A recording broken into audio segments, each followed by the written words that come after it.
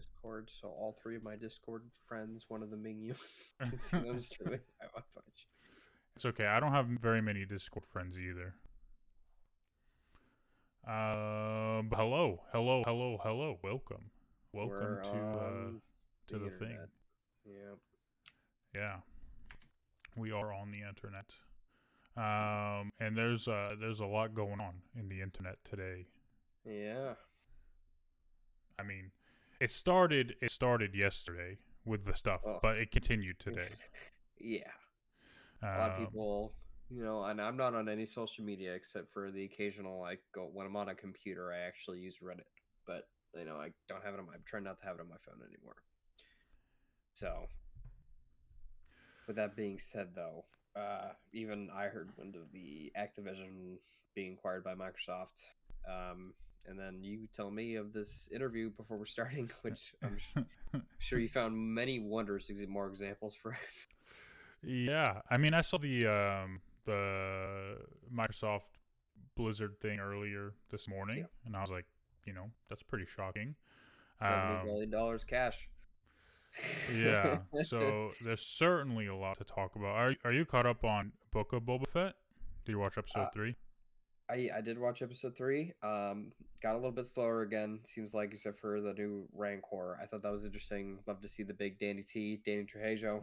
Yeah, there was a lot. it- There was a lot of hate for um that episode though.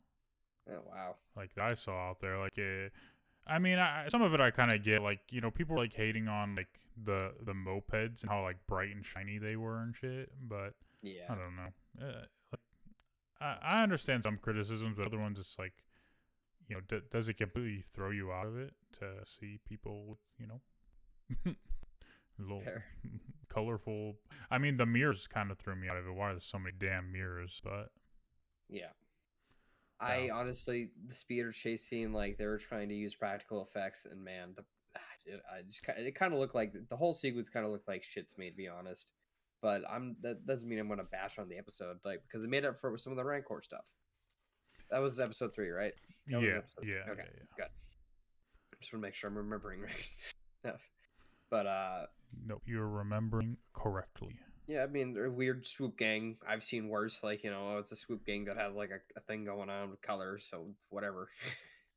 or I, I call them a swoop gang, but I'm sure like there's some sort of other kind of speeder gang.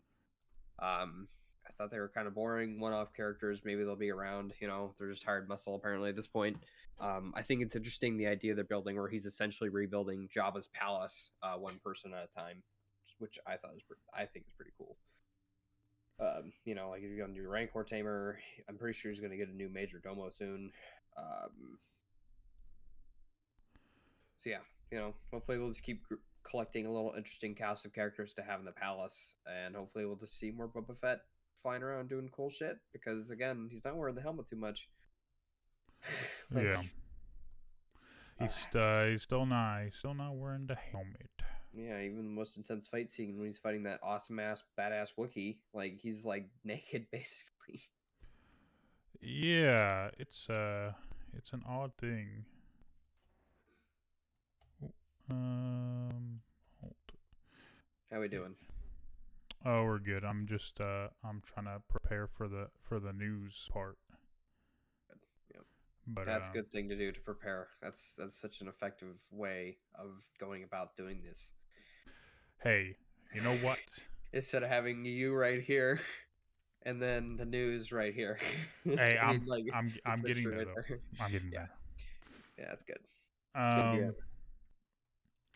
Yeah, yeah. The I mean, I it, like the thing is like I think a lot of people like um the Wookiee, right? Black Yeah. Chrysanthemum.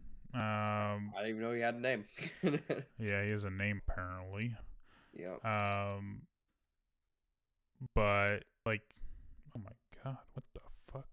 Sorry, uh, excuse me, language.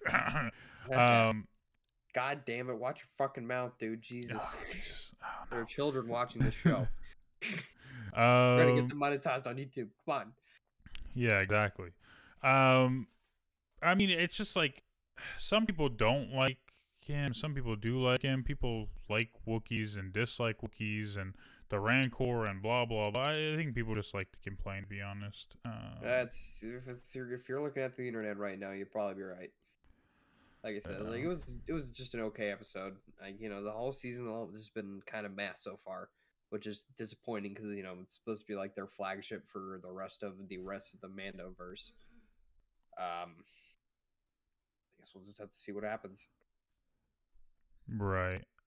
And yeah, I, like, I mean, again, It's like it is interesting enough. Like, oh, uh, but like at the same time, it's like it's not right. Like there there are parts of of Book of Boba Fett are like really interesting, but then there's other parts that it's just like, yeah, meh, whatever.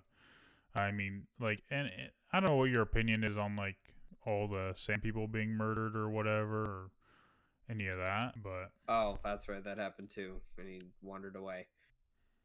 yeah, Uh, I mean, I, uh, I really. the problem is, I really think that whole story should have been like the first two episodes, and then we should have started getting into this stuff now.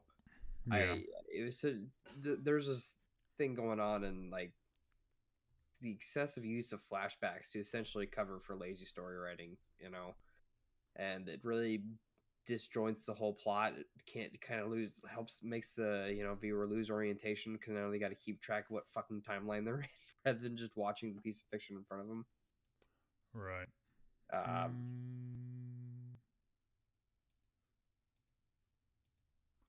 I'm trying to change how this looks. good luck, don't hurt yourself. Thanks. I'm hurting myself. Um, I don't want that. I believe. Why? Why doesn't it let me stack them? Can I stack them? I, I don't know. I streamed like once for like 30 minutes and it just didn't do it. so you're on your own, homie. Mm. Hide members. It doesn't let me stack them. Okay. Well, we tried. We tried our best. Um, That's all that matters. So we tried.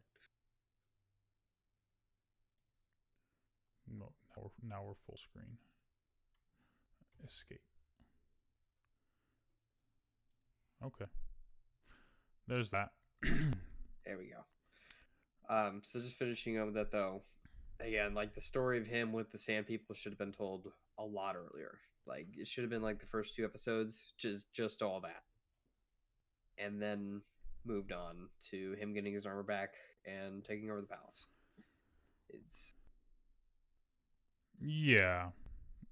I I mean like the direction is just kind of what it is, I guess. It- it's in, it's interesting enough. Um do, do. but yeah. All right, let's talk about some news. all right. Let's get into it. Did you want to do the Whedon interview first or the Activision? Uh we'll build up to it. All right. What else is going on? Moon Knight. Yeah, we're going to hide our faces for a while. Oh boy. Okay, never mind. Uh, display browser window. Hmm, this one. Nope, it doesn't even show up. All right. See I give up. See this beautiful background of Yeah, it is an it is a nice background, isn't it? it is. Hmm. It's very odd. Oh, it's because the window is minimized, isn't it? Yeah. Okay. Cool. That might have that might have something to do with it sometimes. Jesus. All right. Here's some news. Um, so you just watched the Moon Knight trailer. Yep. Um, yeah. So there there was a Moon Knight trailer. Mhm. Um, and yeah, it's it's it's it, you know it's it's inter- it's interesting. Uh, yeah. So uh, for people who don't know anything about Moon Knight, uh, Mark Spector is Moon Knight, and in comics he's like former military, but he has like schizophrenia and like all sorts of mental health issues, and um, he uh, you know gets granted powers by the Egyptian god Khonshu, and so on and so forth. And it's actually pretty interesting stuff, even though maybe it doesn't sound that interesting. Uh, but in the trailer, uh, we we we see Stephen Grant, who's played by Oscar Isaac. Uh, and uh, yeah, Stephen uh, isn't his name. He's actually Mark Spector. But I think, uh, like I said to you before we started, I, I think um, it's they're trying to personify this, right? This is dissociative identity disorder. They're trying to like make that a very visible thing on screen. Mm. Um, and Stephen is just one of those personalities. He seems to be completely unaware of Mark or his alter ego Moon Knight, uh, which is true. Yeah, in the trailer we see him like not really knowing the things he's been doing. Uh, he, he says he can't discern between dreams and reality, um, which makes sense um, given this dissociative identity disorder, right? It's like I never saw Split, but I imagine it's like that. Um, have you seen that movie? No. Oh, okay. I that's the one with like he's like in a wheelchair, right?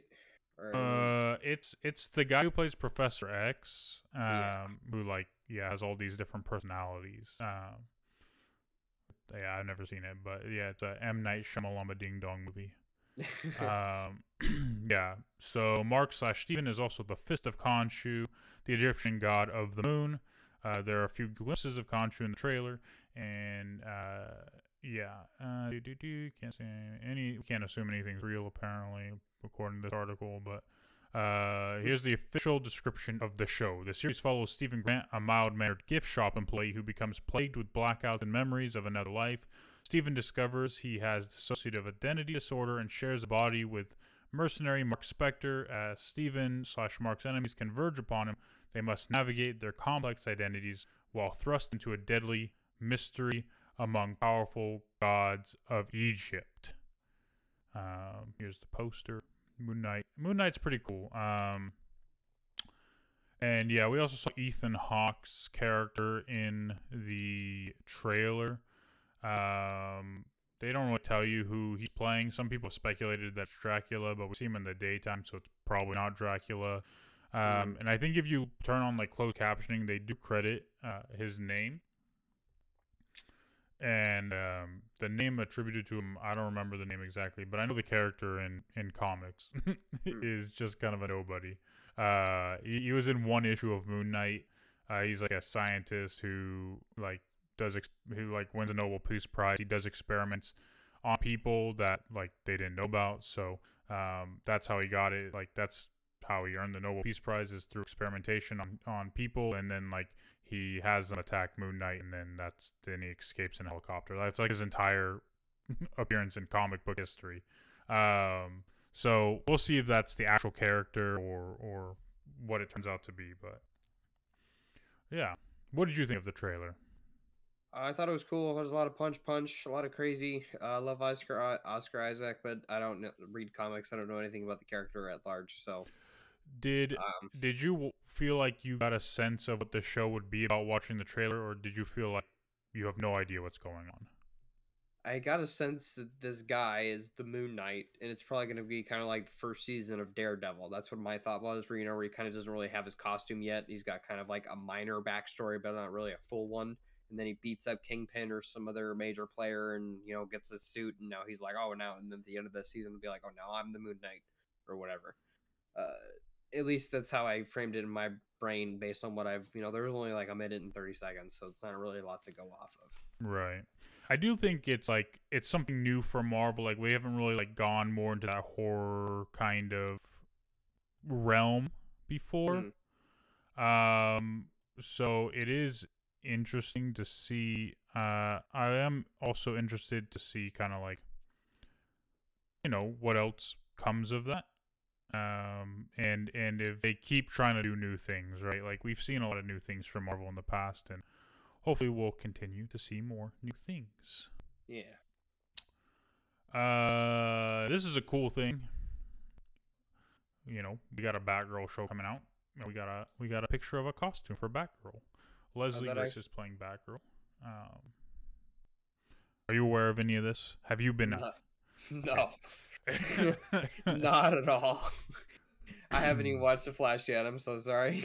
It's okay. I'm far behind in the Flash, but yeah, Leslie Grace is playing Batgirl. It's gonna be an upcoming show on HBO Max.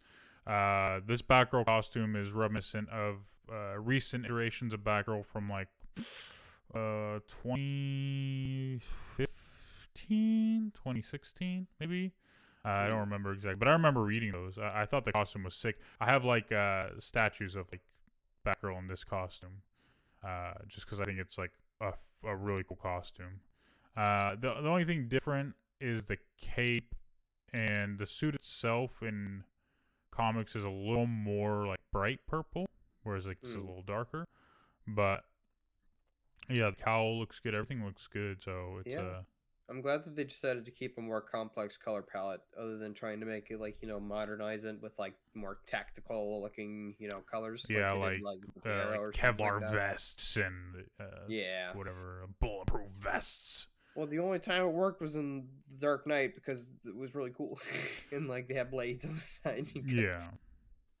Ah, man, God, the Batmobile in that movie was so freaking badass too. Ugh, Right. Yeah. sorry, nostalgia moment, but I just think it looks good, and hopefully, you know, eventually we'll watch the show. Um, I know also, I think I saw the the trailers around my on my feeds, uh, that like the Peacemaker show's out now. Yeah, the HBO first three episodes. There's gonna be eight. So like I think they do three episodes week one, and then every week after that is one episode. It comes out Mhm. on Thursdays. Yeah, I watched the first three episodes. They good? Pretty good. Yeah. Um, I definitely enjoy it. I mean, I, a lot of people really liked like the opening, like uh, like theme song part, Mm. and I, I don't know. I thought that was kind of like way too TikTok influenced, and TikTok bugs me. Yeah, same. Like watching people dance, like TikTok dances, like I don't know, it's it's really odd. Like uh, I I don't know, but I can it- see. I don't know. Watching people TikTok dance makes me uncomfortable, and I don't know why. That's a personal issue. Okay. It's just a strange phenomena that's like hidden because you and me are used to inter- interpreting the internet solely through using like english or well not even english but just through using language solely that like we don't even have pro pic my picture on discord isn't a picture of my actual face whereas in tiktok is so immediately personal. It's just you and i are a little uh we're both a little socially awkward. Maybe it's just an immediate turn off for us. Yeah, I think I think in general watching anybody dance makes me uncomfortable. Yeah i just think it's because me and you are probably both miserable bastards. Maybe. um yeah. You know, we just hate fun. my my friend got married recently and like a part of his wedding like he he's like oh i have a surprise for you. And i was like what? Okay i don't like surprises. It's kind of weird and then like so like he's having it like he, he comes up for a dance you know like with his new wife. And they're like Mm. we're gonna invite uh, you know you and your wife since you got married this year to come dance with us and so we're just Oh, standing there Wait, like, during during the first like no no first- i don't know i don't think it was their first dance but it was like just Okay. like So I was gonna I- say if that was like the first dance, like he just dropped that on you. no, they had their the first dance, planner? and then they then then he danced like with his mom or whatever. Like she danced with her dad. No, no, sorry, no, okay. Uh, I'm not gonna go into that, but she danced with her mom. Um, Yeah. and then um, yeah, and then they're like, okay, here's a surprise. You come down with your wife, and like his sister also got married last year, like the same year we got married. So like his Hmm. sister and her husband came, and like the three of us all like were there just with like hundreds of people just watching us. It was so uncomfortable.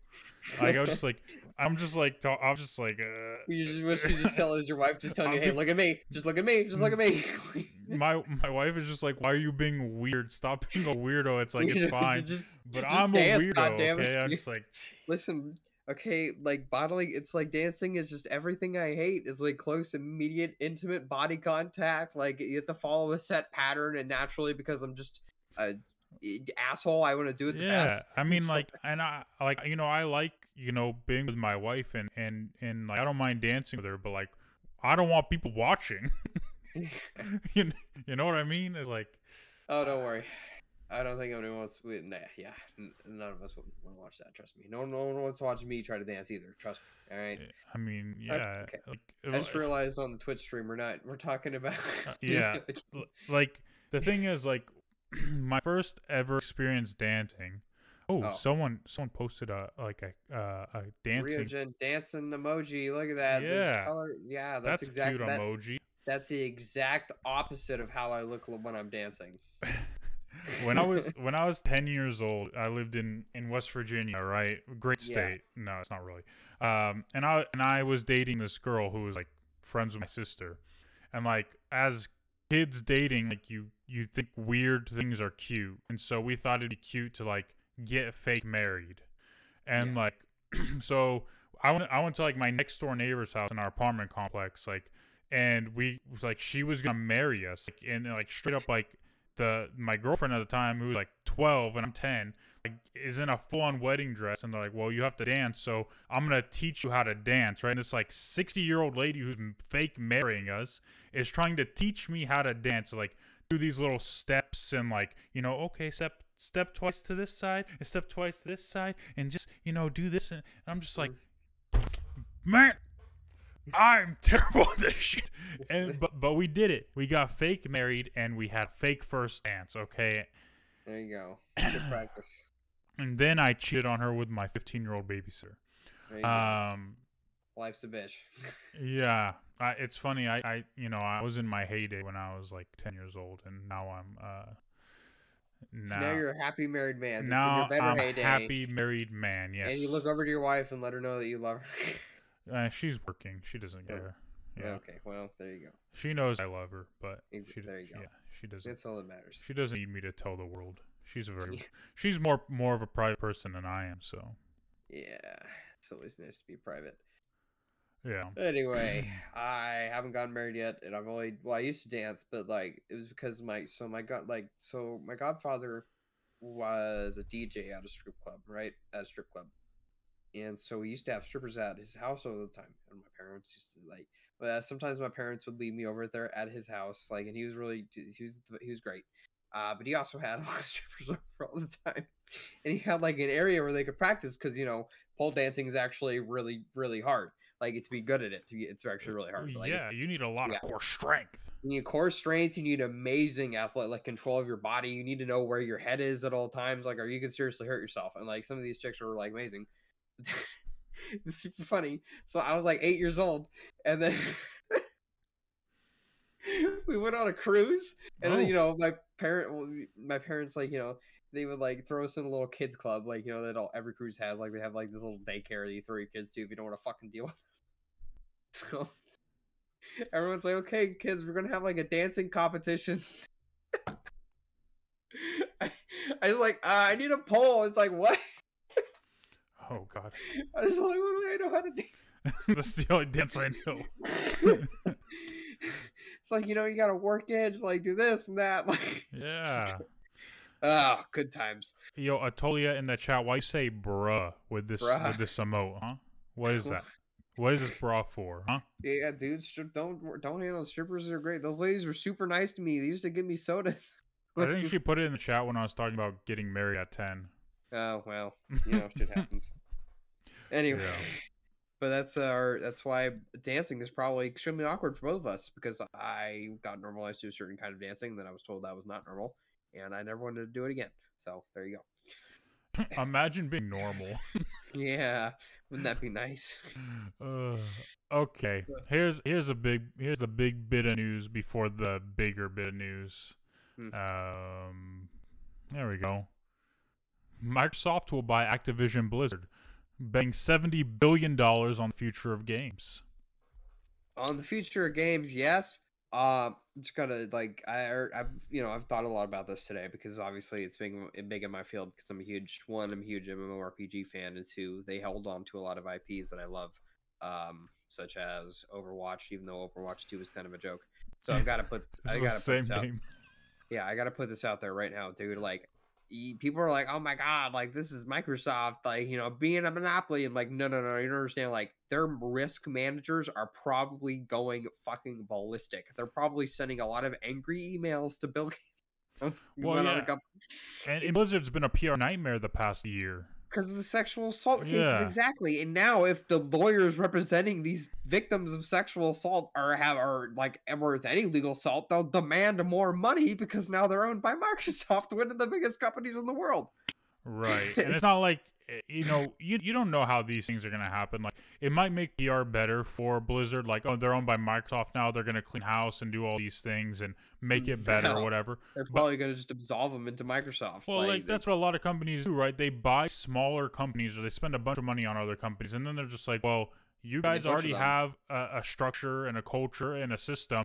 We'll just observe and maybe give you input later, or or you know merge later in, in a in a more uh, complex way or whatever. But like a lot of times, like you don't buy somewhere, clean house, and put all new people in. Like you Yeah. you need to learn the business first or the company first, and then you'll work to to replace people or move people over from current Microsoft stuff over to that company or whatever. Like yeah. it doesn't happen Uh, overnight. honestly, I wouldn't be surprised if in a year we learned that they're just taking game titles, they're like ripping them out, and then they're probably just gonna, I don't know, fucking trash the company, like, cause it's just a nightmare. Like, eh, you know, people, it's it's lost. It's just, it's a gaming company in Los Angeles. I couldn't imagine a worse, more toxic work environment. You know, you know, like it's ju- it's just so.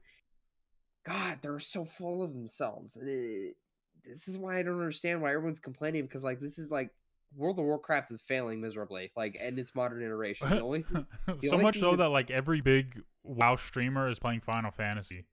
Final Fantasy 14 because it's just a better it's just a better game. That's just the fact of life. It's just a more complex, more interesting game to play with more depth than World of Warcraft, with a better rating scene and better boss fights. Because the thing is about uh, World of Warcraft bosses, like there are like these stuff you have to run between, you know, to get to the boss.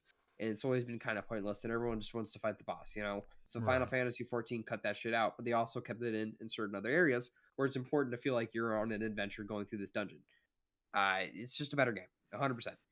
And Classic is they're just turning it into some weird esports thing that I don't think anybody wanted. So it turned off a lot of regular passive players like myself that just wanted to just, you know, smoke weed and then log on, play World of Warcraft for an hour, then log off without having to worry about someone keeping track of my stats Is and that a kicking me thing? off. Does anybody play World of Warcraft for just one hour? I, I I used to. Back before back before it was like you had to because the thing is it was it was a marathon. It wasn't a sprint like it is now. Like everyone's just sprinting towards the end game. They're not enjoying the game and the scene is just so toxic.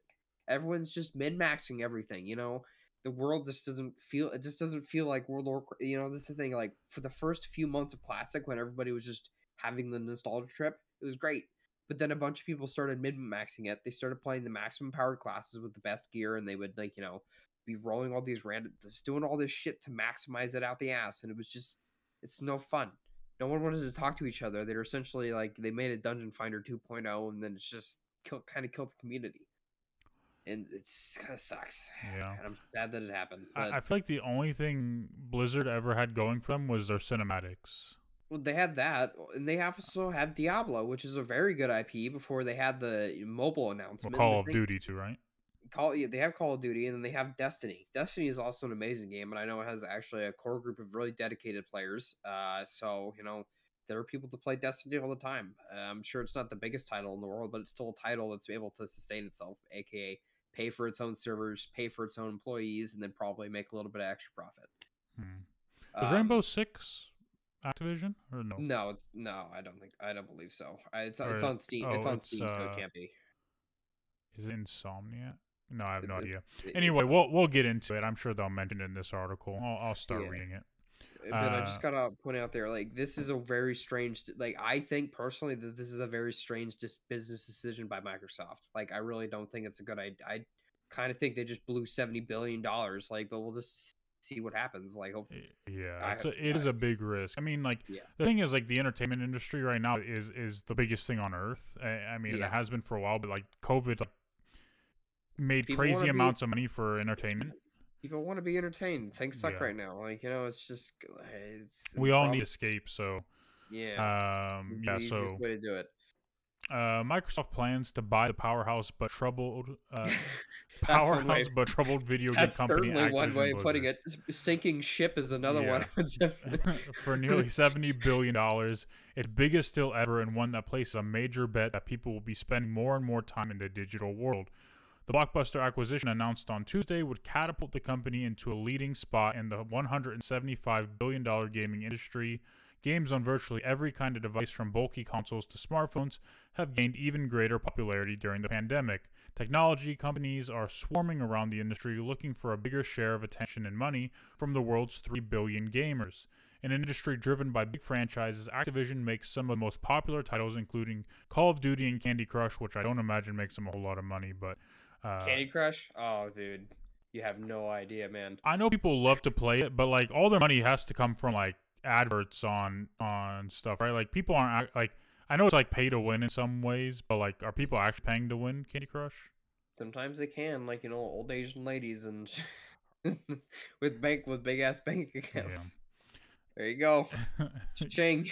Yeah. Uh, yet the company has been roiled in recent months by an employee revolt over revolt, sorry, over accusations of sexual harassment and discrimination. Microsoft framed the deal as strengthening the company's hand in the so-called metaverse, the, the nascent world of virtual and augmented reality. The metaverse has attracted huge amounts of investment and talent, though so far uh, is more of a buzzword than a thriving business. Facebook renamed its parent company to Meta late last year to underscore its commitment. Yeah, that was a terrible announcement too. Yeah. Okay. So there's this game, right? It's called Second Life. Um, basically, I, uh, I think that's what Metaverse is probably going to turn into. Um, so you know, people are just going to learn the hard way what happens when you just have a social gathering game on the internet. Um, well, doesn't that already exist? Isn't uh, what is it called? Uh, uh, uh, uh, VR VR chat. Yeah, well, it's not exactly the same, but in, yeah, no, Yeah. it's just a bunch. It just turn eventually just turns to a bunch of horny people being horny in corners. That's what VR Um, chat is. Yeah, so you know, people can keep betting on metaverses. Zuck can keep zucking as much as he wants to make of this a thing, but it's just gonna be ruined because the only people that are buying VR, it's buying VR gear, is gamers. So they're the only people that are gonna have it. Well, yeah, the only people buying VR gear are are, are Gamers. gamers with a lot of money, or Yeah. streamers, or sex addicts. Yes. Get that fake robo robot vagina dude that vibrates with the sex Jesus. game. Yeah, Oh, dude, you get they have like heads now. They like suck you off. It's fucking crazy. Jesus. Crazy. It's fucking it's Yeah. singularity. It's the, we're crossing into the singularity Yeah. Uh, in the the- worst way possible. We're stumbling over the singularity. We're not fucking like striding forth boldly into the future. We're like drunkenly stumbling our way forward into the future. On, Oh, man. on that note, the article Yeah. continues, but the focus on the futuristic metaverse belies the significance of the deal in the present. The acquisition helps Microsoft gain on its rival Sony in the long running battle for gamers' attentions and wallets by offering top titles. It also helps the software giant stay ahead of powerful newer competitors in gaming like Amazon and Google. Yeah, that's true though. Can I just interject real quick? Yes. Uh, the reason Sony sells so much is because Sony makes really fun games that are really good to play. and they're also capable of getting exclusives on on PlayStation, you know? Exact. That's exactly. Demon's Souls is still an exclusive on PlayStation Five, and I'm Like- still not able to play it. do we honestly believe like Microsoft buying Blizzard, they're gonna make like uh, certain games exclusives on on Microsoft? Like, are they gonna make Call of Duty ex- Microsoft exclusive? Well, no, because I mean, you, might say, well, then more people will buy the the Xbox so that they can, you know. It, but it's like we don't live in a world necessarily of console wars anymore. We live in a world where people who want systems will get systems. So Yeah. most people who want to play games like Call of Duty have both an Xbox and a PlayStation already, right? Yeah, it's like a PS4. You can get one for hundred bucks now. It's crazy. Like you know, it, it's just and it's barely even a step behind. Yeah. Um, Phil Spencer, the chief executive of Microsoft's gaming business, said that when whatever the metaverse may end up being, gaming will be at the forefront of making that mainstream. Uh, for now, he said the acquisition was about gaining a stronghold in mobile gaming, which uh, I mean, it, uh, I'm surprised mobile gaming is as popular as it is, to be honest. Uh, where Microsoft barely competes, and a studio that produces hugely popular games. He called Call of Duty one of the amazing entertainment franchises on the planet. Uh, it is. Got to always give him props, dude. The main single player campaigns for Call of Duty are always just fucking crazy. Wasn't the most recent one terrible? Like Vanguard, or whatever. Is that Call of I, Duty? I I don't know. I think it's multiplayer. I'm not sure. Probably they had maybe they had a shitty campaign. I haven't played it because I haven't played Call of Duty in a long time. But dude, mm. like the original, at least the ones they keep re-releasing are to like Modern Warfare 2, 1, 2, 3, and 4. Like, they're so good. The campaign's crazy. You're just doing crazy shit like you're getting onto a Russian submarine while, you know, the Bay of New York is turned into this giant warship battleground with missiles and helicopters flying everywhere. Mm. Get on board the sub, hijack it, and have it shoot missiles at the other ships, and then you drive away on a speedboat while an Apache, like while a helicopter comes and picks you up from the bay. and, and you're machine gunning people on jet skis coming at you while you're flying away. And it's great. It's so much fun it's gamer. It's just made. It's why. It's why gaming is great. Yeah, like that. Um, this is this is the most fun paragraph in the entire uh, article. I bet. Here we go. Federal regulators may raise concerns about the acquisition, as Democrats and Republicans alike have pushed to limit the power of technology giants. On Tuesday, the Justice Department and Federal Trade Commission announced a new effort to broaden how it should determine if deals are anti-competitive. Um, I mean, well, I mean, they is, can. Go ahead. it's just one of those things. Like, big government is bad and big business is bad, and everybody knows and everybody acknowledges it, right? Like, we need yeah. competition for the market to favor the people. Like, that's how capitalism should work. It doesn't always work that way, but you look at companies like like Disney, like they they bought Star Wars and Marvel. I mean, they bought Marvel before Marvel was Marvel, so like, yeah, you know, it'd be hard to push against that. But like, it, it they made deals with Sony, like they they own the box office every year, eh, but but nobody's saying, well, we should dissolve, you know, Disney into a bunch of smaller organizations that run independently because people want this, right? Like, antitrust laws exist for a reason, but you yeah. know, when you it seems like there's not a lot of good um, objectivity with it. Like it's hard to be objective with stuff like this. Like it becomes yeah. like subjective. Like oh, that Disney isn't isn't too big, but Microsoft now is way too big. Like well, we we also got to think about this in the time. You know, antitrust laws when they were founded back in the day uh, what was it, General Oil or Standard Oil, what it was, like, you know, the biggest oil company. Uh, you know, they were sending trucks of people to go beat up other starting oil companies. Right. and then they would drive away, you know, stuff like that. Uh, we're not talking about, it's not like Disney's going onto these sets and beating people up to steal, like, you know, their sets from them. They're just buying them straight up. And in this instance, too, Activision Blizzard, to me, is a sinking ship. World of Warcraft, which was their biggest namestay, is just I didn't understand. I didn't think it was possible to kill World of Warcraft, but they somehow managed to split their community in two and then make both those smaller communities hit the game even more. I don't know how they managed to do that, but they fucking did it. You know, it, it's just it's fucking hilarious. Uh, Overwatch had an awful launch. It was they started it was esports centered, and at the end of the day, when you have such an esports focused game, you're not probably not going to make it into an esport because the thing about the game is it needs to be fun to play and to have a big community. Like I'm playing Dota 2 right now. Dota 2 is a huge esports scene because the game is fun to play. People love playing Dota 2, or at least people that play Dota 2 love playing Dota 2. Or well, if you ask them, they fucking hate Dota 2, but they actually love it. And then so uh, Overwatch flopped, and they did this rebranding with Overwatch 2. I thought it was kind of a fucking joke because you know it, the trailer was just so stupid and I don't know. Like I, I just thought it was a joke. Um, Diablo. Everyone talks about the Diablo mobile, but that's just an issue with marketing. Like that was a business error on their part. Uh, the, like they made the big Diablo announcement, a Diablo mobile game, when they knew for a fact their primary Diablo fa- fan base was a primarily PC players. You know, you can't just invite all these people to this fucking PC gaming conference and then tell them, oh hey, for this game you all love, releasing a mobile game. Isn't that the biggest news you've ever heard in your entire life? Of course, people are going to be fucking upset. It's it's really bad marketing strategy. Really, really bad marketing strategy. Yeah. So at the end of the day, like this is a bad example for antitrust laws because.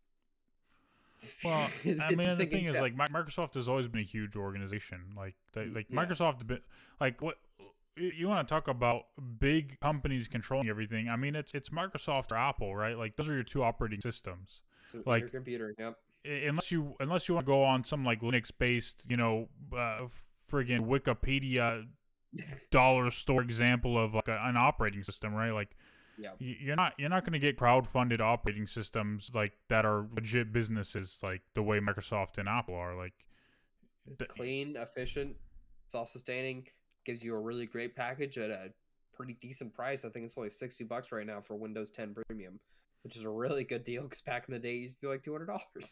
and you can't do anything without it, right? Like, without Yeah. an operating system, your your computer is is literally a paperweight. Yes. Like, yeah.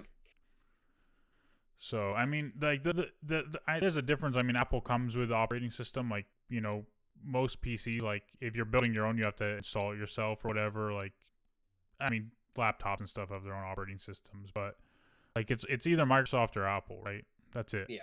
So, And, um, um, all right. I guess I'll continue reading this this uh this article.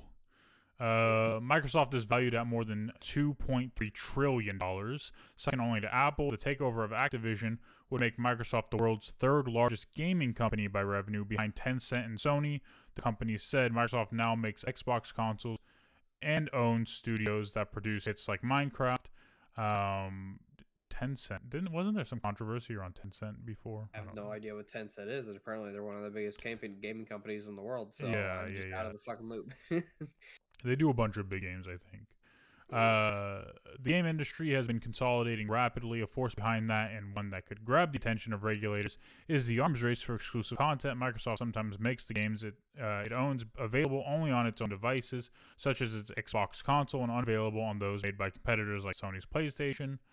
Um, when asked whether Activision would uh, games like Call of Duty would become exclusive to Xbox, Mr. Spencer would only say that our goal is to allow the content to reach as many players as possible. Uh, yeah, this is like, yeah, this is like what I was saying before. Like, i- they they could make it exclusive, but what's the point, right? Mm. It's not gonna prevent. It's not gonna make me like significantly more people buy Xboxes to the point where like that's that. I mean, even Microsoft, like Microsoft has always been different in the way they operated uh, compared to Sony. Like Sony has like Spider Man and stuff like as exclusives, and not even available on Steam. But like Yeah. you And can you can get after- Microsoft games right like yeah, on the on, PC. on the PC. So Yeah. We also have to remember that Sony is a company based in Japan, and the business culture over there is a little bit different. yeah, th- Uh, they'll they'll straight DMCA people for like doing Nintendo videos and stuff like playing games on YouTube. Yeah. Well, it's a little bit more lax now. It, it was definitely used to be a lot worse back in the day. Like in the early days of YouTube, Nintendo was just, you know, they didn't want to they didn't want to do anything Yeah. with YouTube at all. they were period. striking everybody's content. Yeah, they didn't have their own channel. Like they didn't. it was just some funny shit. They were striking their own trailers to let you know how stupid it got. Like literally free press for them. Yeah. um.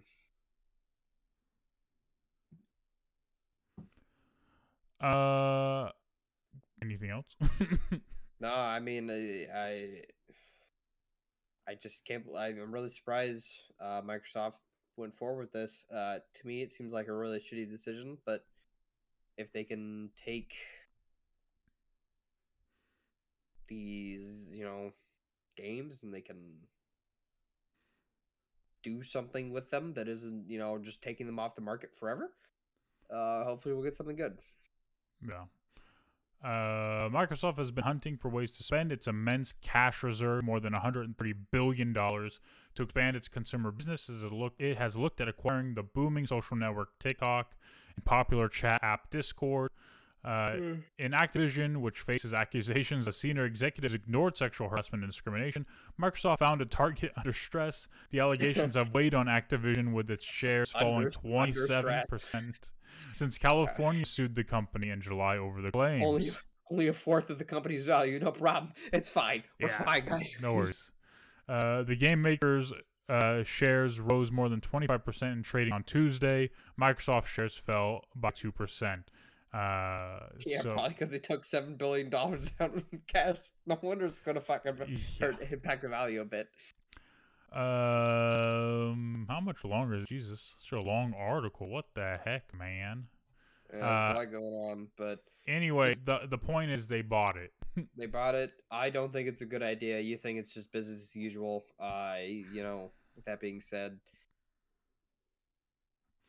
Yeah. Hope it goes well. I hope they can rebrand. Maybe they'll really, do, maybe they'll do Warcraft Four. You know, maybe they'll, maybe they will do something a little bit better with the game design team and how they, you know, uh, what who they keep on the storyboarding and stuff like that. So we'll just gotta see what happens. Right. Uh wait, so the deal could take 12 to 18 months to close. And people who work there are still upset because of all the nonsense, right? Uh, okay. Yeah. I mean, it, it, it that's the thing. That's the biggest issue, right? Is like um thanks for thanks for posting some emotes first time chatter. I fell off my chair. Yeah, no problem. I mean, Uh, there we go. uh, yeah, I think um, I think like the the biggest thing is Activision and Blizzard. Like Activision and Blizzard, Blizzard has so ha- so much controversy around it. Like Microsoft maybe helps that a little bit, and you know, and maybe in the long run something happens, but in the short term, like it seems like a very risky thing. I don't know if people have faith in Blizzard or in Microsoft's ability to make great games and do something to save uh you know some of the things in the works but but it to me like There, there have been some good changes recently, like when Microsoft titles recently have been coming back to Steam, which is something that I'm really glad to see. Uh, Halo, uh, Halo is chief among them. You know, you can probably get mo- and uh, like the only reason you can't get Modern Warfare right now on the Steam is because of uh, it's on the Blizzard launcher. You know, you have Mhm. to download the Blizzard launcher and do it that way. And yeah battle.net or whatever right yeah, yeah, Battle.net. Um, like, and now that I think about it, it's funny how many people. You're right. How many people like yell and scream about, uh, "Oh my God, there's too much central power. Why isn't every game I want on Steam?" yeah. Why do you have to have steam battle.net epic games all Yeah. this nonsense The ea Game- origin Yeah, Origin's really eh, Origin's okay. Um, I I don't have Battle.net launcher because there's nothing exclusive on there. I want 100 percent yet. Uh, when it happens, I'll probably get it though. I only install a new launcher when there's a game I can get nowhere else. yeah all right here's the controversy here's the Oh, big man. piece of news from yesterday We getting into it. joss whedon did an interview Oh boy. Why? That's the first thing. Why? Why, Christian? Cage? Why Cage? Tell me, please. Well, um, I, I, I, I feel like his interview does a good job explaining why he didn't speak out sooner, and it's because uh, he was only gonna say some bullshit. Um, and and even after two years, where I'm sure he's had time to uh, get therapy and, and PR training and, and extra help and, and how to confront some of his past issues. Um, even with those two years, he still uh, came out and said some bullshit. Um, and and the thing is, like, I you know here's the understanding people should have, right? I I grew up in a household where we watched Buffy the Vampire Slayer all the time. Like Mm.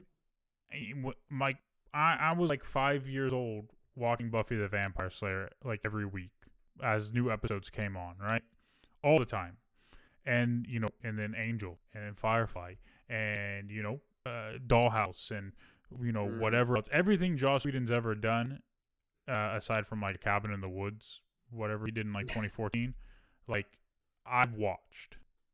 And I think Joss Whedon has done brilliant job like a brilliant job in creating things and being a showrunner and whatever else. But i don't know who he is and i have i have no inclination of his character aside from what a lot of people have come out and said right?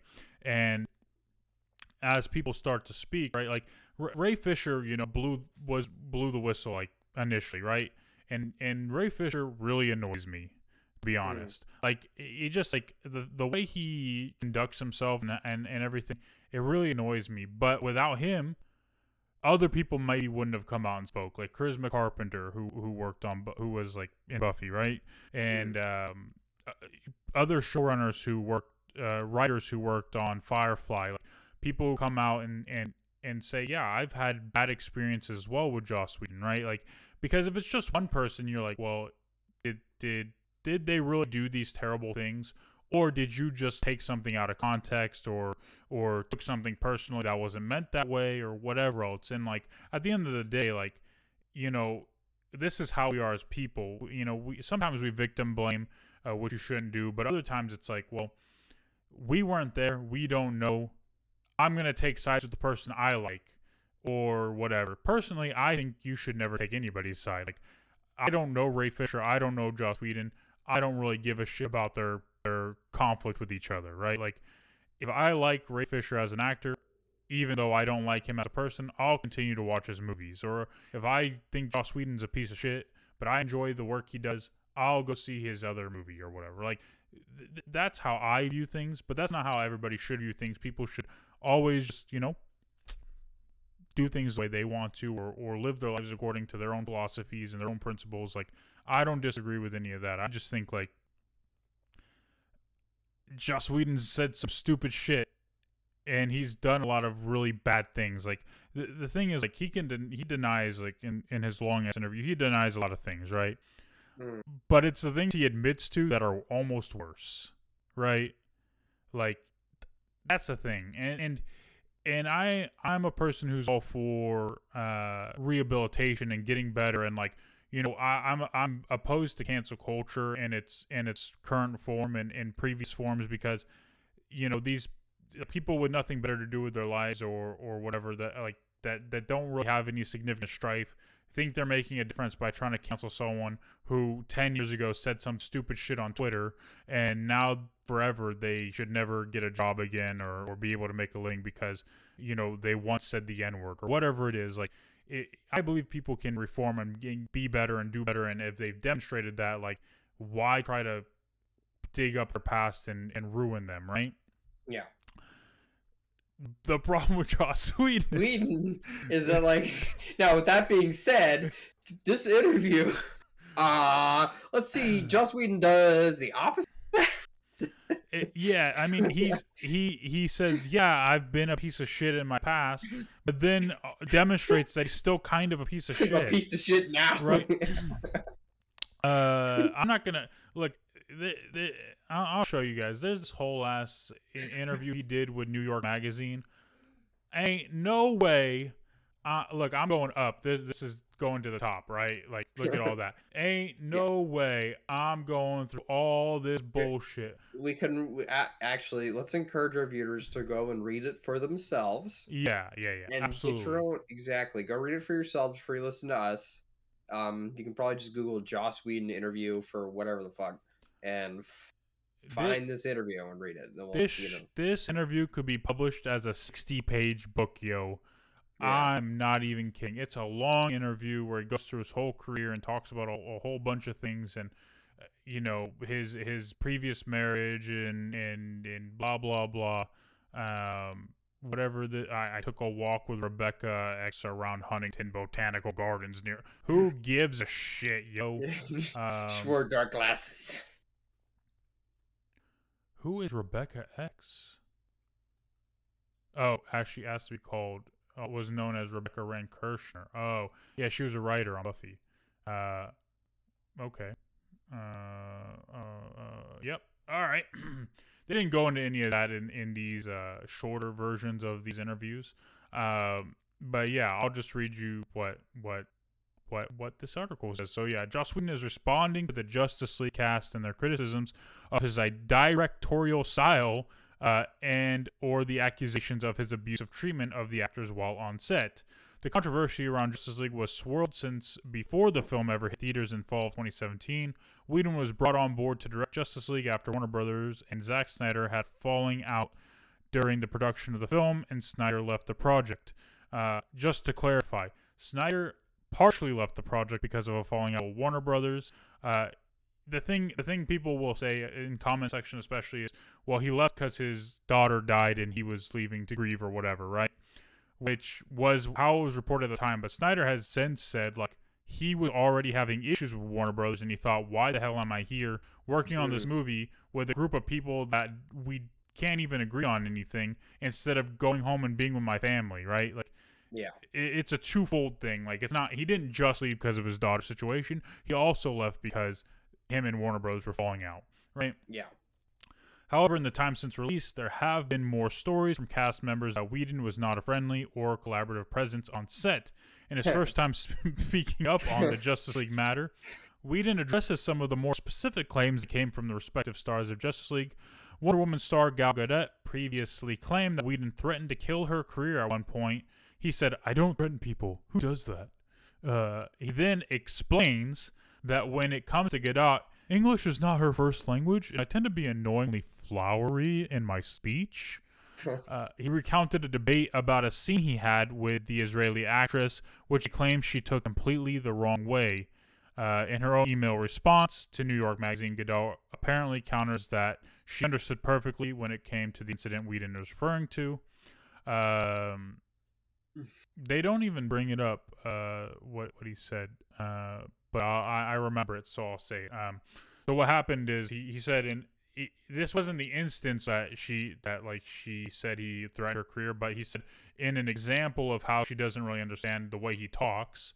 Um, she wanted to change a scene or whatever, and and Joss Whedon said to her, uh, "If you want to change the scene, you'll have to tie me to a railroad tracks and change it over my dead body." right?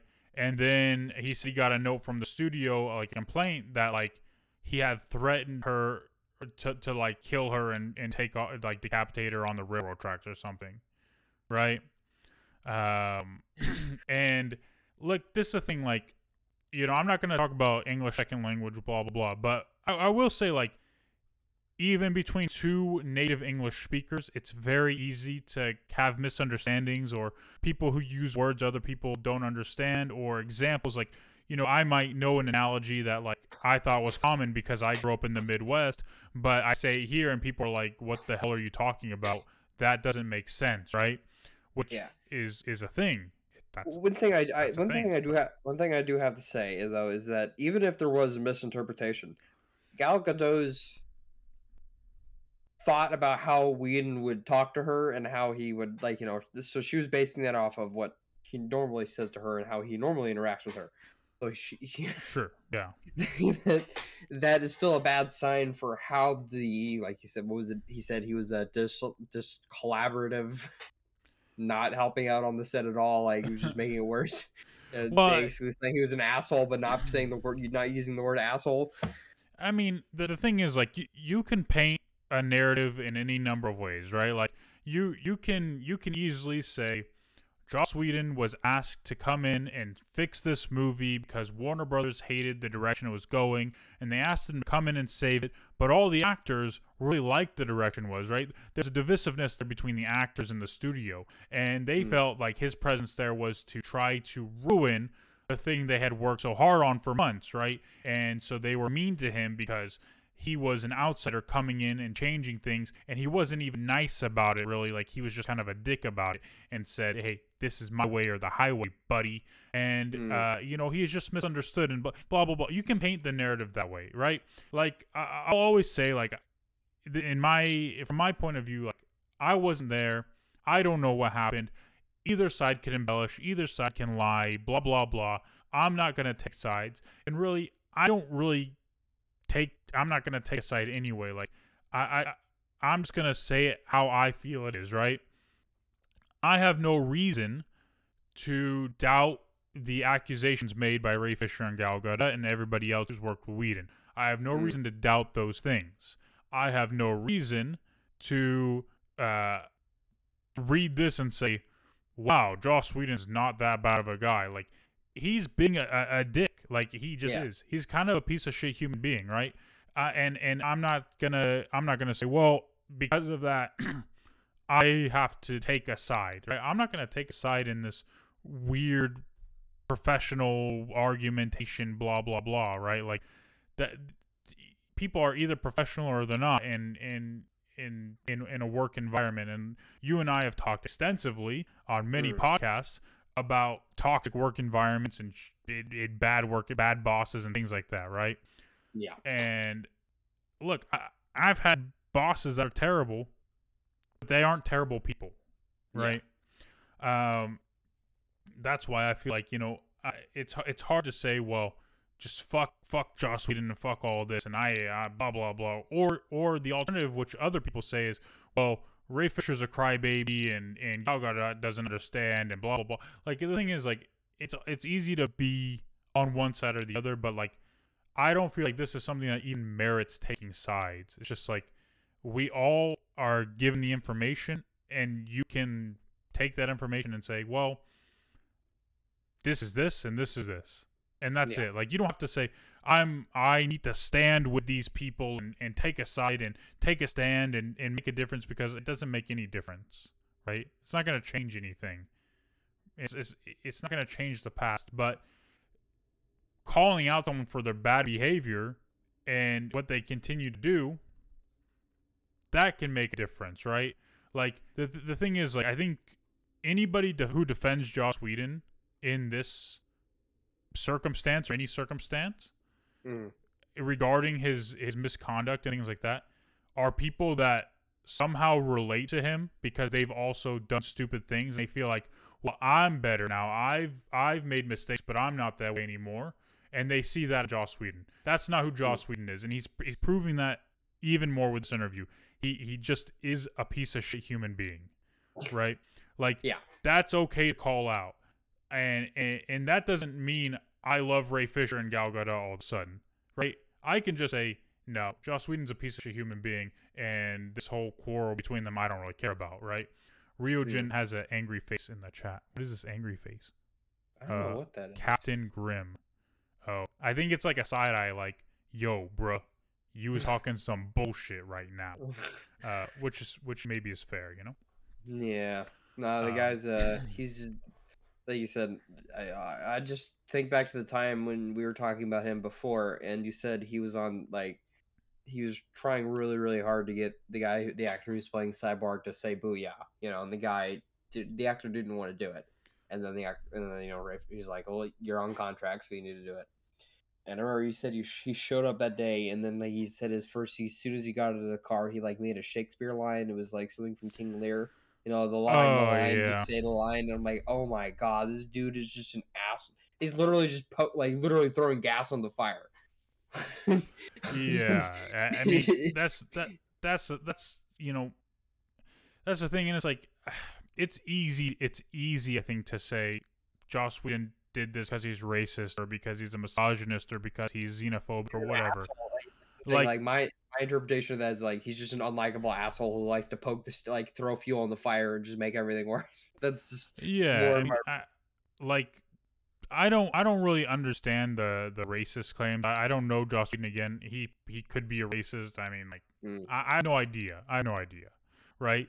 Like I I know the one of the biggest issues is like he co-opted the like feminist movements and stuff and like portray himself as like this leader in feminism or whatever and like he's just kind of a piece of shit right? Like and it doesn't necessarily treat women well especially with what he's admitted to and eh, the things he's done. Like it's it's very clear but like i I feel like a lot of times people levy things like, "Oh, you're a racist, you're you're uh, you're xenophobic," and like for for circumstances that are like not necessarily those things and it kind of diminishes what it means to be those things or like legitimate examples of those things because the people who are against like people who are like oh you, you know you're you're a snowflake and you just think everything's racism like you're pushing those people further in their corners which i this is where everything gets difficult right? Because it's like if you're if you're super against like racists and like people who act that way, like you don't actually necessarily care about getting them on your side anyway, right? Yeah. Like you don't care about building understanding and getting their, you know, their, you know, whatever. But the problem is like, we're so divided because there is no understanding. Yeah there is no attempts to to and also a lot of the people that go like oh you snowflake you liberal you this you that you know those people are also kind of huge pussies exactly uh, yeah, every, yeah, that's the thing like when when you look at extremes on on both sides like they're mm-hmm. they're just the same people like yeah just... i didn't realize this I, I was i listened to the interview uh everyone's uh, well, like personally, I think the guy's kind of an asshole. Ben Shapiro, he interviewed Gina Carano, and I guess now he they're making a movie with her. The Daily Wire is making a movie with her. Yeah, I thought that was odd when I when that came. Yeah, um, and it's funny because in the interview, she basically says, "Well, I hate bullies," and then she says in her bio, you know, the, her public-facing bio, that's like blue check marked and everything, supported by the company.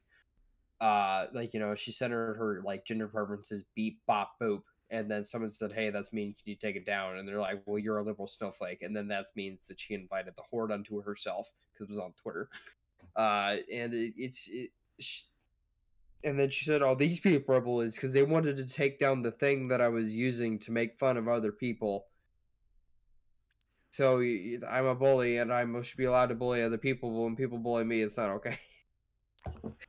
Yeah, it's it, just also, you know, she sh- I don't think she shouldn't have gotten fired, but I also think that she kind of like, you know, just started jabbing the bear in the eye, I think is a better way to put it. Uh didn't she like compare like something about wearing a mask to like wearing a Star of David in the Holocaust, some other stupid shit like that. I I don't know. At the end of the day, the basically, is, I don't mind. I don't mind when people post stupid shit that I disagree with. What I what I yeah. What I mind is like when um when like so we want to be famous? What? People are just like people are just um what's the word? You know what i'm trying to say? Like it's odd for um oh my god jesus. You trying to be famous dude? You want to buy followers prime and viewers how do you bot? what's the difference between a follower and a viewer what the heck that's the idea, isn't it? Uh, I mean, you need both, right? I, I, I would hope viewers are more important because that's then maybe Prime subscribers, but uh, Prime's free. Well, it's not free because it comes through Amazon Prime, but this I don't know. Yeah. Oh shit. Um. You didn't just click on that link, did you? no, no, no. No. I, I, did not. I did not click on the link. Don't worry. Okay. Um, but I would say the point is what I'm saying at Gina Carano is basically is that uh, a that she should have just made a private account where she could have shared all these stupid little memes with all her friends or whoever the fuck. But I guess she wanted she needed to be on her podium and she needed to say these things, which to me makes it seem like that she's kind of an asshole. But you know, whatever. Uh, huge pussy. Yeah, that's the thing is like I feel like a lot of that stuff got taken out of context too. But like she still isn't right for doing the things she did. But at the same time, like, I don't really care. you know? Like, yeah. I don't really care what her personal thoughts and opinions are. And I don't really care that she's putting them out there for other people to get mad at. Like, yeah. I'm only interested in what she puts on screen. Uh, like her her job is an actress, and that's to entertain. And if that mean if she's a bad person, but she's entertained, I mean, like that's, that's Hollywood is full of terrible people. Like, let's be honest, right? They it might is, not always yeah. show it, and you might not know that you're watching. You know, 10, 10, 15 years ago, you love Kevin Spacey. He's your favorite actor. Okay, yeah. well, the whole time he was a child molester, right? Like, yeah. I, I mean, allegedly. Um, allegedly. All charges have been dropped recently, actually, after the mysterious death of one of the accusers, and also the uh, rest of the charges dropped by other two people. So, you know, allegedly. Allegedly yeah. Allegedly. Um, but but that's like the thing is like there, there are a lot of bad people and like personally i like to know they're out there. I like to know what the what what people who think differently than me are thinking and and why they think that way. And especially like you know there's so many people that are just racist people but you'll never know. Mm. i want to know so i can know to avoid you. You know like yeah, i'm not gonna be friends with, with gina carano but that doesn't mean that she didn't do a decent job in the Mandalorian. I, I don't really care about her character to be honest, but like yeah. you know, that's that's that's its own thing. But my point is like yeah, she's a perfect example of like somebody who is super right-sided but has a mentality like the same thought process that everybody on the extreme left has, right? Like they all think the same way but yeah. in reverse. And also, the also most important thing here, the one the, the one thing everyone needs to realize that's tying it all together is that all these people are on social media, and they're saying and all these the things. Worst. And they're saying all these things on social media, and they're doing all these things on social media, and they're getting on all these fights on social media. they're defending this and defending that on social media. And man, dude, like I just don't miss it. I don't miss Instagram. I don't miss Facebook. I don't. I don't miss Twitter. Yeah. I just don't. I just don't. I. I'd rather. I'm just starting to text people more. Starting to like you know call people I want to talk to rather than just hitting them up on social media or something like that because that's kind of just important.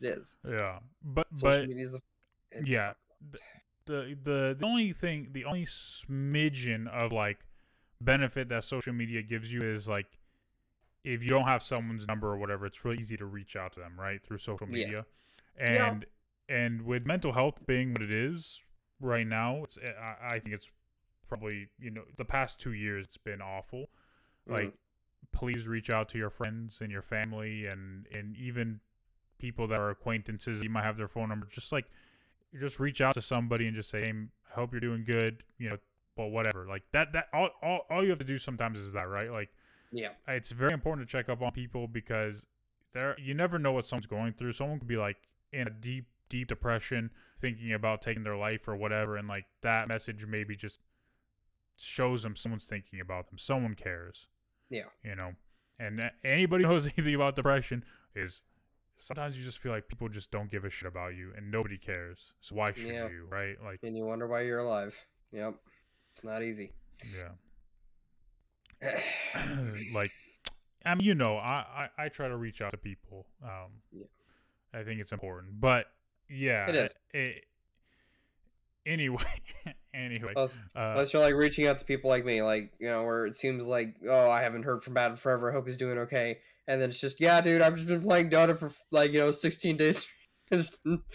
Yeah, but that's better than uh, you know, any, something what, else. what I used to, what I used to be. Yeah, yeah, sure. I mean, because it, there's, it's easy. It's easy when you've you know been down or been depressed. It's easy to get back in that kind of mindset and like. Yeah, you know, kind of feel like you're walking around with a backpack full of rocks that only you can see, right? Like a lot of people just don't get it or don't understand or don't see it, so it's not real to them, but it, it'll always Yeah. be real to you. So, exactly. Anyway, any other news going on? uh, we'll, yeah, we'll continue with this. Yeah. uh, so, uh, do, do, do, um, yeah, a lot of people are focusing on this English is not our first language like thing, and and maybe trying to say like he's being xenophobic or whatever. I don't know if that's necessarily what it is. Like Well- it's a because uh, like I said, like like I know a lot of English second language people, and like it's easy to say things that are like I don't know, way too American. yeah. Or- or. Miscommunication is a thing that can definitely but, but happen. but even without that, like, th- there's no reason to bring that up. Right? There's no reason Yeah. to bring up she's ESL and like whatever. Like, Yeah. all you have to say is like, you could you could literally ignore that and just say, I tend to be annoyingly, uh, you know, flowery in my speech. Say that in a better way that's not so pompous. yeah. Um, but anyway, I'm not his PR person. and Um, also, why apparently he doesn't Gal, have one. Why did Gal Gadot misinterpret what he was saying as "I'm gonna kill you"?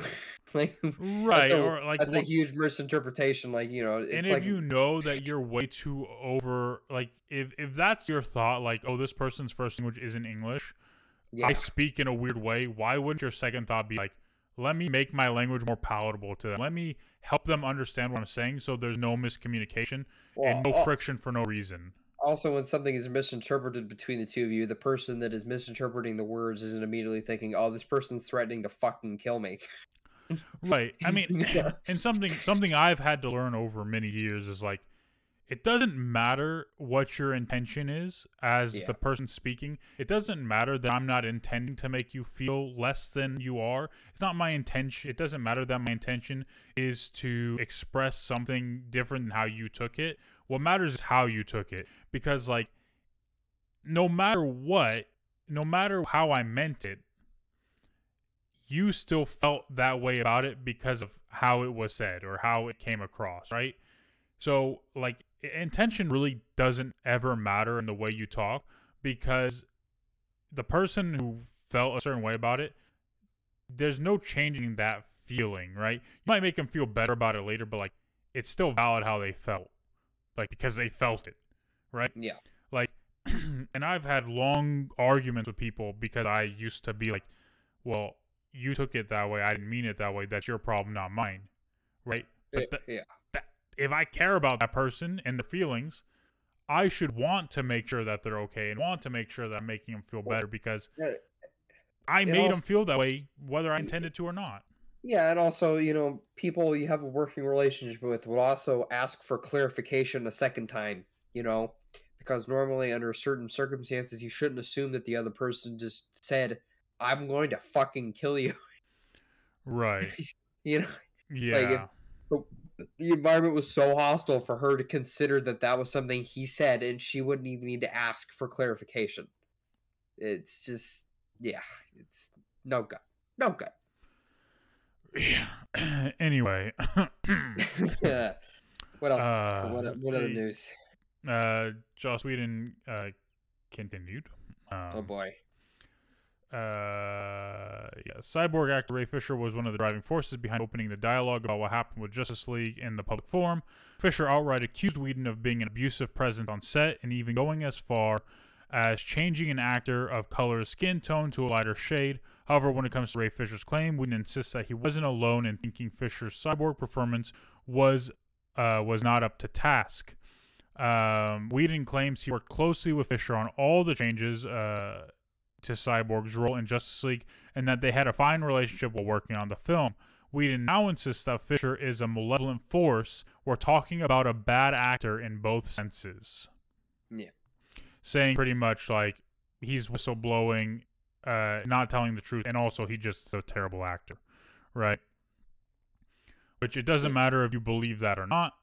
Uh, if you think he's a great actor who really made the movie work in Snyder's cut, or if you think he's a terrible actor, neither of those things matter. I think in a professional environment, you shouldn't say stuff like that ever. You should Yeah. never. You should never come out in an interview and be like, "Well, this person didn't like me because I cut their scenes because they suck at their job." Right?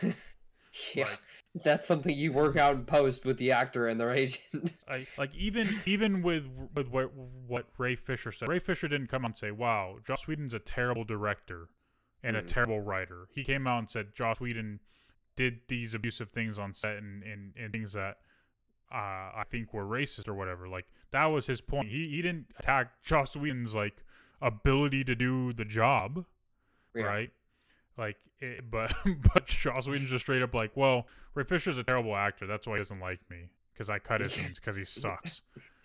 like, sounds like a great work environment. Sounds like a play. That sounds like a set you want to fucking be on. yeah. Um. Finally, while Whedon doesn't outright, oh, hold on, let me bring this back up. finally, when out, finally, while Whedon doesn't outright blame Zack Snyder for the backlash he received over Justice League, he claims the cult of Snyder Bros did come at him in the filmmaker's name, even after Warner Brothers released Zack Snyder's Justice League on HBO Max last year. I don't know who started it, uh, the online hate campaign. I just know in whose name it was done. Uh, Whedon credits both uh, the timing of Justice League uh, and his ex-wife publishing a scathing letter about him as creating a perfect storm of internet vengeance. The beginning of the internet raised me up, and the modern internet pulled me down. The perfect symmetry is not lost on me. Jesus fucking Christ. Yeah, it turns out the internet is nothing but toxic fanboys everywhere. That's, that's all literally all it is. So there you go. Uh, and uh, first of all, I mean, Ray Fisher responded Mm. with some tweets. I mean, yeah. Oh boy. uh, so he didn't respond yesterday when this happened. He uh, he said this thing. Uh, Looks like Joss Whedon got to direct an Endgame after. yeah. Uh, this is what he said yesterday. Rather than address all the lies and buffoonery today, I will be celebrating the legacy of Reverend Dr. Martin Luther King Jr. The tomorrow the work continues. Uh, and then this. Uh, wait, wait, wait. They didn't have today's tweet. Uh, he did tweet today. Hold on, I'll find it. Boop. I just click on his account. There you go. uh, Not broken, Oh, never this alone. one. Do you all remember that time Walter Hamada and WB Pictures tried to destroy a black man's credibility and publicly delegitimize this very serious investigation with lies in the press? Oh no, that was uh, nope. That's not what he said today. Here it is. Uh, hold on. One hour. Last thing. Yeah, that was the thing. Uh, but yeah. Oh, Ray Fisher did a whole bunch of shit. Yeah, looks like he was going on, going Mm. on the warpath. Uh, yeah. Uh, before I get There's- started, I want to thank everyone for lifting and supporting everyone that has been negatively affected by Joss Whedon. I was not the first to speak out about him, but I hope to be the last that has to. The irony is, Walter Hamada is probably kicking himself right now for trying to throw Joss Whedon under the bus. Had Walter waited, he would have seen Joss had already bought a round trip ticket to run himself over, pretty much saying Joss Whedon's interview fucked himself, uh, Yeah. which is true. Uh, Joss Whedon has uh, had nearly two years to get his story straight. He's like spent tons, if not hundreds, thousands of dollars on PR, crisis management, coaching. I don't think he did any of that, to be honest. And his response to this allegation is, "They all misunderstood and or are out to get me. Also, my mom is sexy." Uh, okay. Uh, I'm starting a team called the Malevolent Force. Who wants in? Joss Whedon's uh, need not apply. Um, Joss Whedon. I don't threaten people. Who does that? The world. I don't know. Maybe the guy that used to spend his free time plotting elaborate revenges on his own family. Uh, he said on weekends and in summers, he would pass his morning pacing the long driveway of the family's second home, a farmhouse near Schenectady, making up science fiction universes or plotting elaborate revenges on my brothers. I mean, that's just kid stuff, though. I mean, Yeah. I, I I think that's reached there. Uh, Charisma Carpenter's thing. Uh, who do, do, do, do, do, has no agency in determining matters of abuse or race, but for the influence of white male shadow puppeteer.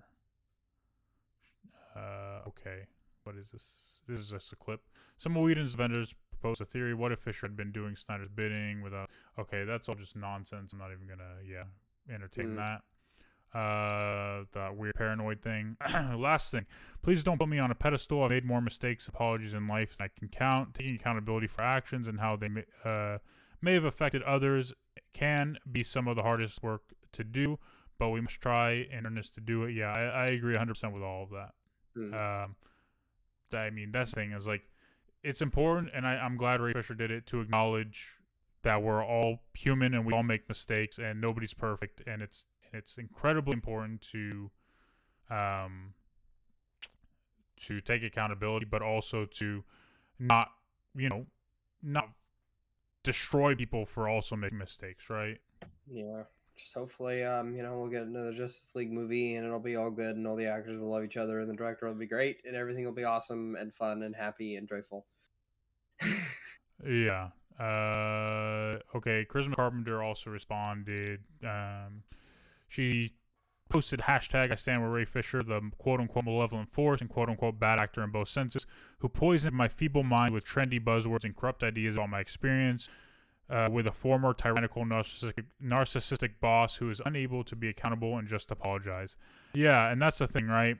That that that's the whole thing, motherfucker. Just just take responsibility for the stupid shit you said and, and, and did.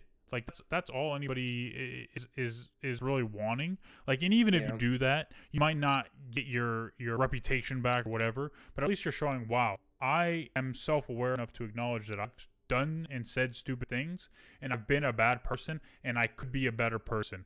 But instead, you end your fucking article with this nonsense. Hold on, because I read the fucking last paragraph. This Yeah. stupid bullshit. Uh, here we go. This this thing. I think I'm one of the nicer showrunners there that there's ever been. Right? Saying saying uh, maybe the problem was I've been too nice. I wanted people to love me, which meant I was too direct.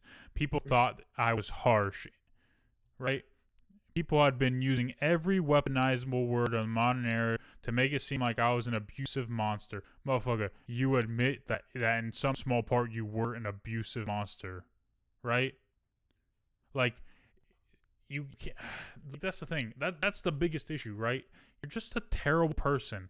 And you can't Yeah. even acknowledge that you're a terrible person. Like, you, this guy has, like, he is he is the definition of like a narcissistic egomaniac, right? Yeah. His ego is so big, right? That instead of instead of saying, "Wow, I did something that hurt you," his response is, "Well, I'm so smart that I didn't realize that my incredible vocabulary might offend you, and I didn't even offend you. You just took offense to it." Because Yeah. I am way too smart and I don't know what I'm doing. Right? Yeah. like that works in the Big Bang Theory when you're Sheldon Cooper, right? Yeah. But, but but it doesn't work in real life when when you need to be accountable for being a terrible person. Yeah, Like- you're right. There are things he could have said too. He could have been like, like Hollywood's a rough business. It this was a mainstream Warner Brothers set. I had to get this movie fucking done. Like we were on time constraints. Like and then they told me to cut it, make it work, do whatever I had to do, and so I ran a hard hardcore set. He didn't even say that. He just said, oh, "I'm the nicest fucking director, and everyone else is wrong, and fuck you." it's just, hey, you know. Could, so he couldn't even shift the blame to Hollywood, is what I'm saying, which is a great, which, which is just some sort of reversal you can do sometimes, where you talk about Hollywood is brutal business. We're talking about like you know George Lucas, who decided not to set up shop in Hollywood because probably because of how shitty it was. Um, it, it's yeah. Yeah, I, I mean, the the thing I think it, that's important to to acknowledge at this point is like the things Joss Whedon did, like as far as the work he created, the the the shows he created, whatever else, like you can still watch those things and enjoy them, or you can say, "Wow, I really understand why Xander is such a piece of shit now." In Buffy, because uh, that's a character that Joss Whedon clearly uh, wrote from the heart in some ways. Um, or you can say, "Hey, I can't watch these things without being reminded of the piece of shit who created them," and that's okay too. You Mm. can say these things succeeded in spite of him and not because of him, Mm. right? Or whatever it is that helps you or makes you feel however you need to feel. If you never want anything to do with anything Joss Whedon did again, that's your choice, and I support that 100%. And if you say, well, I still love parts of those shows, or I still love the first Avengers movie, or whatever else, and you still want to watch them, that doesn't make you a bad person. Uh, there's a difference between art and artist. Uh, there are a lot of very terrible people who are great artists. That's just Yep. a well known fact. Um, you know, even going back to Shakespeare, right? People love Shakespeare. Some people think Mm. he's really annoying and, and his work should not be forced on people in schools, but whatever. Um, Oh, also he's kind of a sexual se- sexual deviant. Right. But also he could chain words together really well. Um, you know, uh, it's writer you and I both love and know. Uh, Tolkien probably has. He He's probably. Probably a racist. I mean, he grew up in that time, but yeah, like, and well, in London, the UK at that time, maybe, but well, he. let's well, be the- honest. London and the UK right now is is still incredibly racist and xenophobic. Yeah, and but also one thing we have to remember back then when hardcore Protestantism was in, uh, extremely homophobic to like you know a Oh, degree yeah. where they should be chemically like they would chemically castrate people back in the day. So, uh, it was just it's yeah. But you know, Tolkien would use what uh, Joss Whedon would call flowery language to uh, to to you know he would he would call it like a perversion or, or Yeah. whatever, right? Like Yeah. like Tolkien wouldn't wouldn't uh, outright say like you know queer should be murdered or whatever. Like Yeah, uh, that's like he would he would say in a in a kindly way that he doesn't agree with that lifestyle and that society uh, may be affected by it or whatever like whatever stupid talking points that people who dislike people who live differently than them have um Yep. but yeah um but that's just the reality like Tolkien's work is brilliant and, and the writing is brilliant and, and the imagery is amazing and, and I love reading it.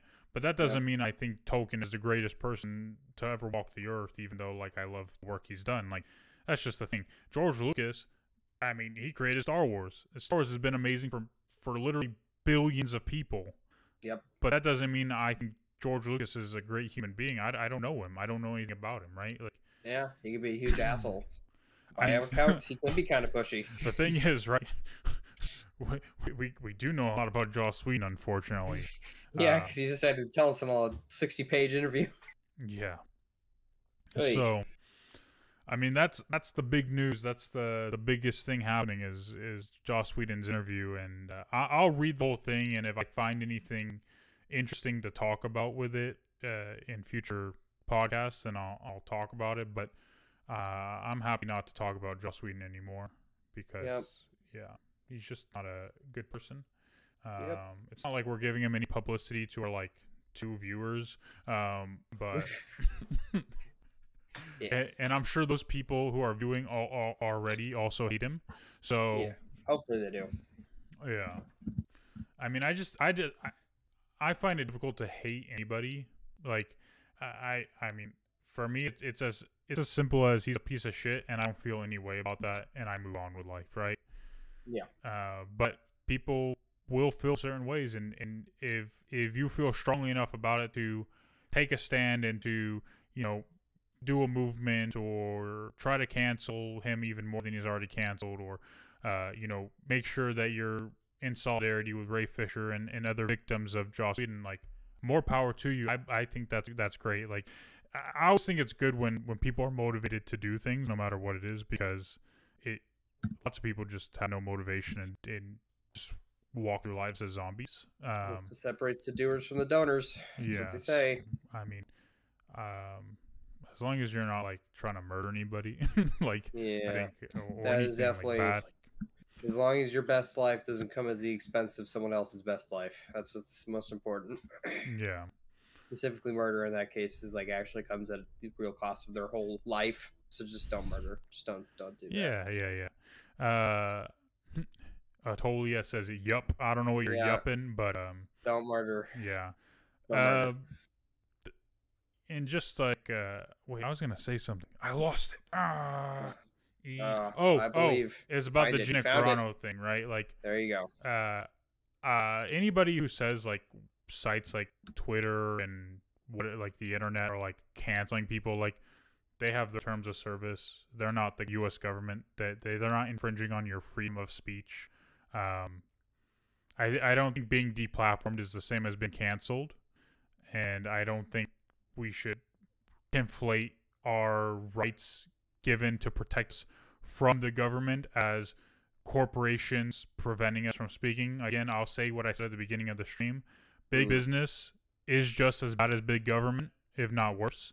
Uh, but uh, that doesn't mean that they don't have every right to do what they're doing, even if it, even if you believe, well, they censor conservatives more than liberals. It, it doesn't matter.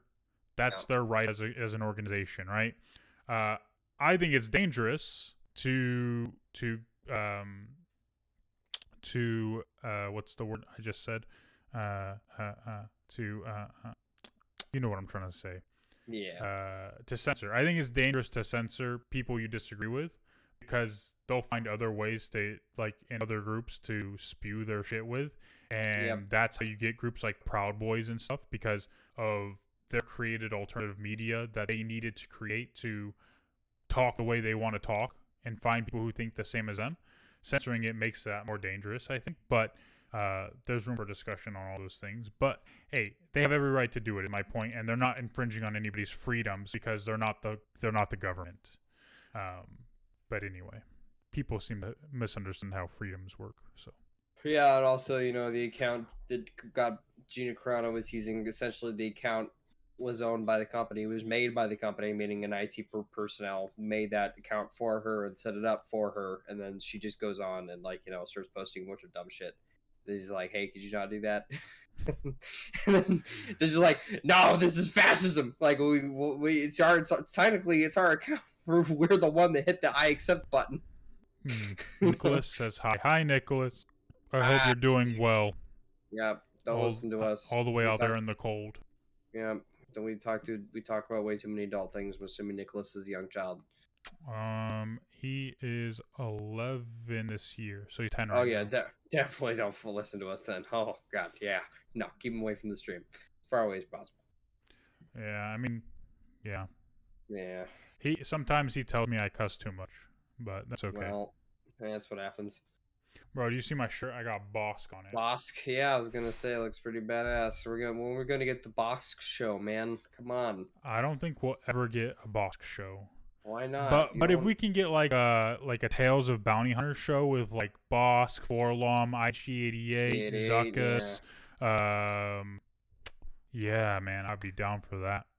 yeah, or, You know what would be really interesting? I don't know if this would ever get created because I think it's so out there and, and dumb because we don't know anything about Jawa culture, but a, a Jawa bounty hunter, yeah, like they probably only hunt droids and break them down for parts and scam their employers all the time. But hey, that'd be dope. Yeah. Anyway, Yeah. this is probably the longest episode we've done in like years. So Yeah, good. Sorry, I'm just. Uh, Yeah. Did a lot of did a lot of stuff today. did a lot of stuff today. For sure. Yeah, For sure. Got a got a potential new agent coming into the brokerage tomorrow, so I'm excited about that. Yeah. Very nice. I'm You know, I've been getting uh, Groupon emails for like 35% off California real estate license. You test. should do it, dude. You'd be a great realtor. Don't you have to pay for the course before you take the test? It's like 130 bucks. No. That's how much it costs. I'm not Don't you have to be like a people person to be a realtor? No, you just need to. You have to remember, you're not selling. I'm selling a house, not a car. they would. Hmm. You need to be professional to be a realtor. That's the thing. Oh, okay. Not Think about I'm being a professional. I mean, yeah, you're a professional. What do you want to be? Thanks. yeah, you're welcome. Uh, All right, I need to go scratch my gamer itch. It's Yeah. getting it's getting really bad. Sorry, it just Sounds good. happens. All right, I'm pal. playing Dota 2 because I hate Have myself. Have a good night. Uh, thanks everybody for tuning in. Thanks for all the in. chatters. Much love. Yep, Thank you, uh, Re. What is her name? Ryujin, right? Ryogen, Ryogen. Yep. Thank you for Dancing. uh, your emotes. Uh, much Yeah, appreciated. I'm sorry if I annoyed said. you with any of my takes. Uh, Yeah, I know that's what we do sometimes they're not popular. Uh, Tolia says make Jawa Bounty Hunter show as short episodes. Yeah, like you can do Ah. like five minute episodes or something, right? Well, I Or- think she said short because Jawas are short. So Oh, Jawa shorts. Ha ha uh, ha uh, Ah. uh, ha ha ha. Huh. Okay, end the podcast. Give, give Yeah. a- Peace out, everybody. Uh, ciao, ciao.